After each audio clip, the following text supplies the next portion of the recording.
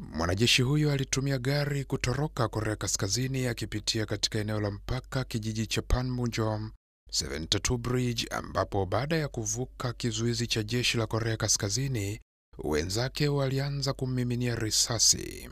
Picha za kamera ya kutegwa zinamwonyesha mwanajeshi huyo akiambana na gari kuelekea upande wa Korea Kusini, ambapo mara tu baada ya kuvuka kizuizi kwa kulazimisha, ndipo wenzake wakaanza kumshambulia huku wakikimbizana naye.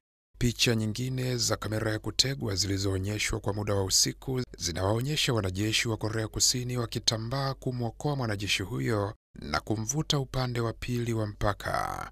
Wiki iliyopita askari huyo aliamua kulitoroka taifa hilo kwa ujasiri mkubwa ili kuingia kwenye ardhi ya taifa jirani la Korea Kusini, tukio ambalo si la kwanza kufanywa na wanajeshi wa Korea Kaskazini ambao mara kadhaa wamekuwa wakitorokea Korea Kusini. Nchi hizo pacha tangu zitengane baada ya vita mwaka 1950 hadi 53 zimekuwa zikihasimiana vikali.